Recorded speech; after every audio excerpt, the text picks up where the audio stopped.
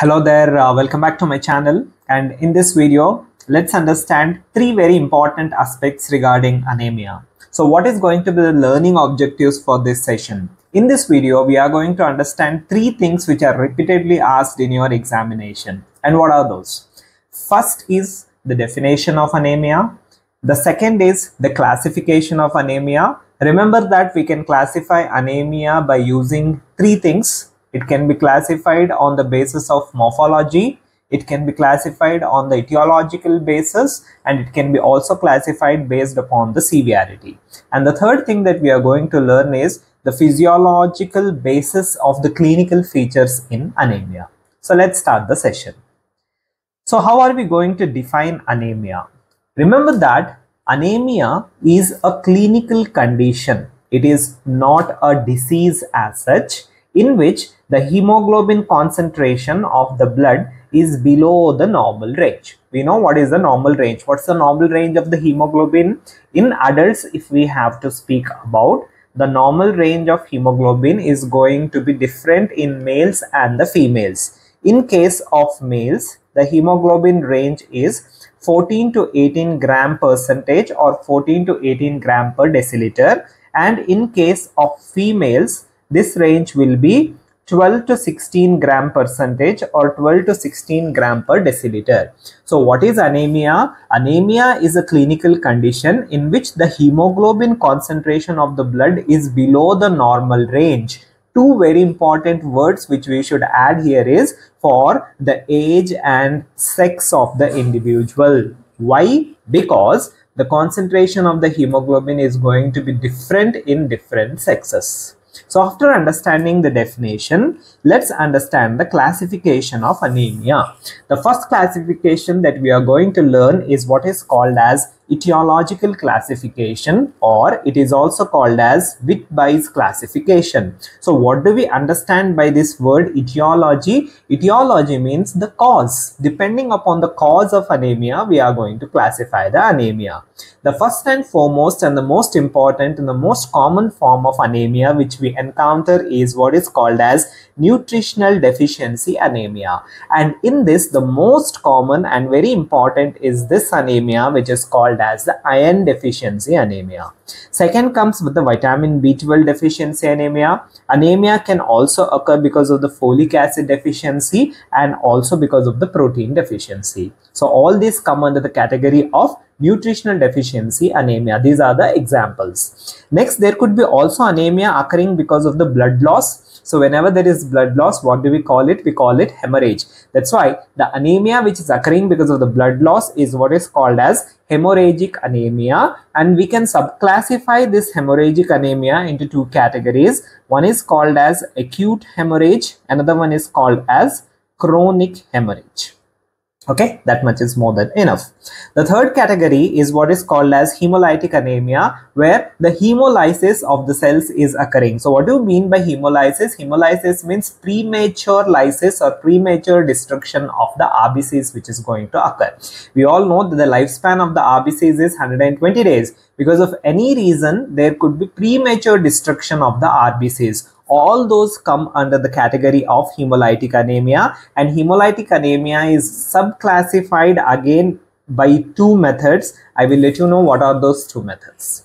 Then we have the next form which is called as the aplastic anemia. So the meaning of aplasia is that the bone marrow is not producing enough number of cells. So there is an impaired production coming from the bone marrow, which could be occurring because of certain drugs, which could be occurring because of exposure to the radiation, which could be occurring because of some disorders of the bone marrow. So such a kind of anemia wherein the bone marrow itself is unable to produce the red blood cells that is called as aplastic anemia.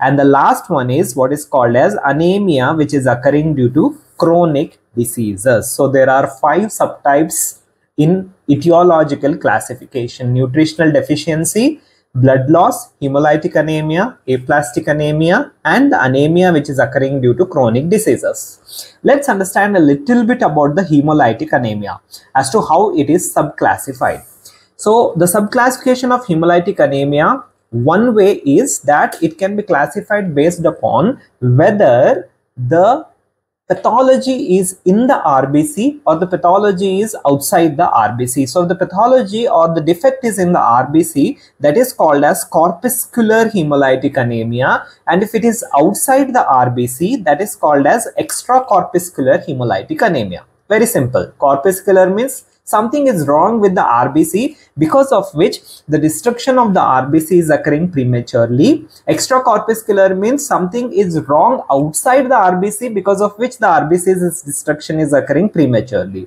So what are the corpuscular causes? Three very important causes. One is called as hemoglobinopathies. So what is going to come under hemoglobinopathies? Two very important disorders. One is thalassemia. Another one is sickle cell anemia okay here the problem is with the hemoglobin either qualitatively or quantitatively. Next thing is membrane defects. There could be something wrong with the membrane of the rbc and which disease comes to your mind when i say membrane disease membrane defects? Yes that is hereditary spherocytosis and the third one which you learn in your biochemistry that is called as enzymopathies. One very important enzyme which is required for the integrity of the rbc is what is called as G6PD. This is glucose 6 phosphate. So G6PD, if it is deficient, then even we will get early hemolysis, premature destruction. Now the extracorpuscular causes include microangiopathies. This, this, is, this is a very big term which gives you a meaning that there is something wrong with the blood vessels. Okay, angio means blood vessels micro means smaller blood vessels. So this is a disorder of the smaller blood vessels. Many toxic agents many drugs incompatible blood transfusion we know that and even autoimmune disorders so all these are the causes for extracorpuscular hemolytic anemia. This is one way of classifying hemolytic anemia. Hemolytic anemia can be also classified in one more way. What is that way? So if the hemolysis is occurring in the mononuclear phagocytic cells okay of the spleen that is called as extravascular hemolysis. What is that called? Extravascular hemolysis. But if the hemolysis is not occurring in the mononuclear phagocytic cells of the spleen and it is occurring in the blood vessels now that is what is called as intravascular hemolysis. So we have two types of hemolytic anemia here. One is extravascular. Extravascular means the hemolysis is not occurring in the blood vessels, but it is occurring in the usual place where it has to occur, but it is occurring prematurely. That is mononuclear phagocytic cells of the spleen. So this is called as extravascular hemolysis. But if the hemolysis is occurring intravascularly, which a very good example is ABO incompatibility, that is incompatible blood uh, transfusion. There the hemolysis occurs intravascularly okay? So we have two classifications. One is corpuscular and extracorpuscular. Another one is intravascular and extravascular. Intravascular means within blood vessels okay? Within the blood vessels. Hemolysis is occurring within the blood vessels okay? This is the subclassification of hemolytic anemia. If you want to write you can write. If you want to leave it you can leave it. But if you write it your answer will carry more weightage. Then what is the morphological classification? The morphological classification is also called as the Wintrobe's classification and it is based on two very important parameters. One is the cell size. The morphology itself means the size and shape of the cell. So one is based on the cell size which is given by a red blood cell index which is called as mean corpuscular volume. Second is it is based on how much is the hemoglobin saturation that is how much is the content of the hemoglobin within the RBC which is given by mean corpuscular hemoglobin concentration. So if we know these two values we can find out as to what type of morphological anemia the person is suffering from. One kind in this is what is called as normocytic normochromic anemia wherein the MCV is also normal and MCHC is also normal. That means the size of the cell is also normal and the hemoglobin saturation inside the RBC is also normal. But the cell count is less. So what could be the two very important causes which come under normocytic normochromic anemia? Hemorrhage very important is hemorrhagic anemia. Here the hemorrhage is happening, the number of red blood cells is reducing because of the hemorrhage. But the size and the hemoglobin saturation which is present inside the RBC is going to remain the same. Second one, as I have already told you under the etiological classification, there is something called as aplastic anemia wherein the bone marrow itself is not producing enough amount of cells.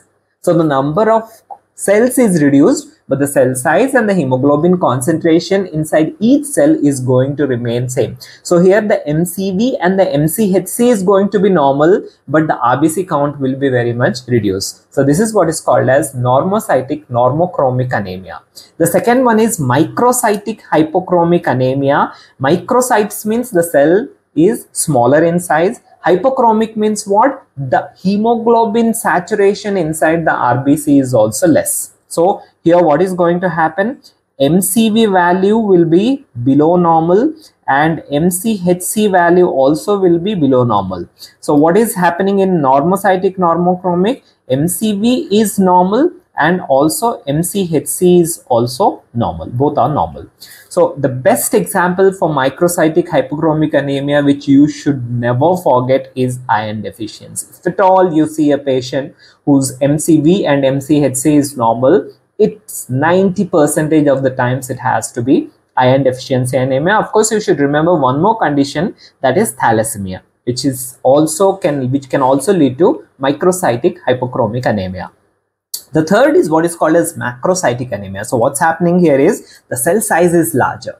So when do you think the cell size will be bigger? When the immature cells are entering into the circulation. So when does this occur? This occurs when there is vitamin B12 deficiency because we know that vitamin B12 as well as folic acid they are required for the maturation of the RBC. So the maturation of the RBCs is not occurring at that point of time we see immature cells entering into the circulation. That's why what is going to happen is MCV will be higher than the normal but the person is suffering from anemia. So macrocytic, two very important reasons, B12 deficiency and folic acid deficiency. So this is the second classification which we have learned. Third classification is based on the severity and this classification what I am giving you is taken from the WHO's website. Okay, so we classify here based upon the severity, how much is the hemoglobin level and there are three types, mild, moderate and severe. So what is severe? What do we understand by severe anemia? Whenever the hemoglobin is less than 8 grams per deciliter irrespective of the fact whether that's a male or a female that is termed as severe anemia so what is moderate anemia whenever the hemoglobin is somewhere between 8 to 11 remember these values grams per deciliter irrespective of the fact whether it's a female or a male we call it as a moderate anemia and when do we call a mild anemia? Mild anemia is when the hemoglobin is 11 to 12 gram per deciliter in case of a female and hemoglobin is 11 to 13 gram per deciliter in case of a male. So this is how we classify anemia based upon the values of the hemoglobin into mild, moderate and severe. So we have learned the three types of classifications. What, what was the first one? The first one was based upon the etiology that's called as the etiological classification. Second one was based upon the morphology that's called as the morphological classification and third is based upon the severity. How much is the hemoglobin less? So here we have mild, moderate and severe anemia. So this finishes the classification. Next, let's understand the pathophysiology of the clinical features. So what is happening here in anemia is that there is a reduction of the hemoglobin. So when hemoglobin is reduced, what is going to happen to the oxygen carrying capacity? Of course, the oxygen carrying capacity is also going to reduce. But remember this very important thing that in a normal person who is at rest, only 25 percentage of the oxygen which is carried by the arterial blood majority is carried by the hemoglobin it is extracted by the tissues. So remaining 75 percentage is reserve here.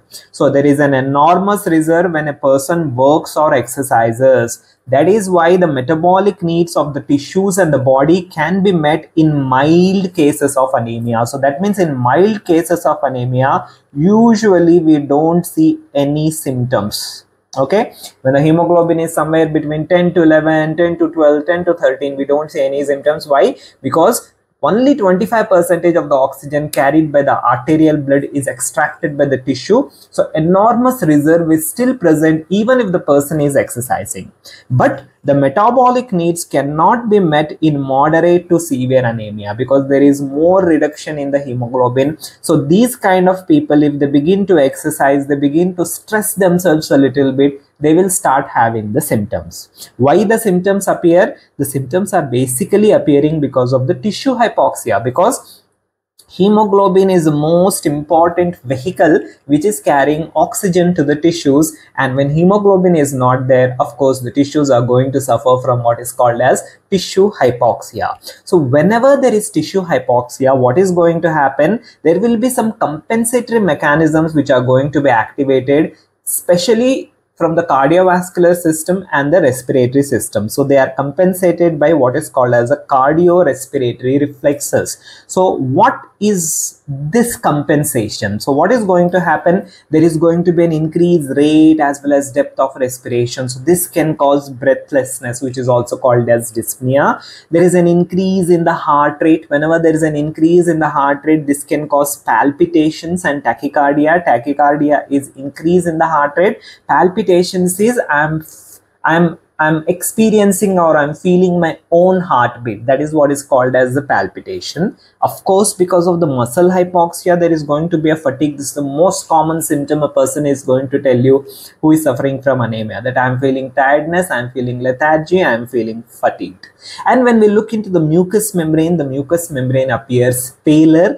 This is what is called as pallor. This is what is called as pallor. Of course, there is going to be involvement of the other organ system. So these symptoms, what I am telling you, these are the common symptoms irrespective of the fact whichever anemia the person is suffering from. The person may suffer from iron deficiency, B12 deficiency, chronic hemorrhage, hemolytic, whatever. The person says, I feel dyspneic, I am having palpitations, tachycardia, I feel fatigued, I feel lethargic. And when you look into the mucous membranes, the mucous membrane exhibit what is called as the pallor okay?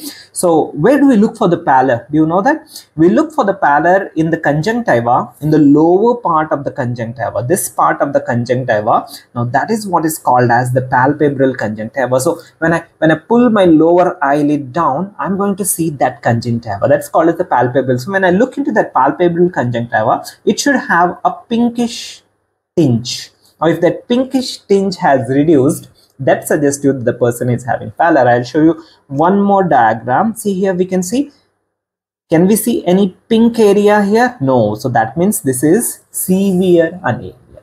So what did we finish in this video? We finished three very important aspects of anemia. Definition classification what classifications three types morphological etiological and based upon the severity and then we also understood the pathophysiology or the physiological basis of the clinical features. If you want me to make a separate video on iron deficiency anemia which also asked as a short note for you guys, please let me know in the comment section. Thank you for watching.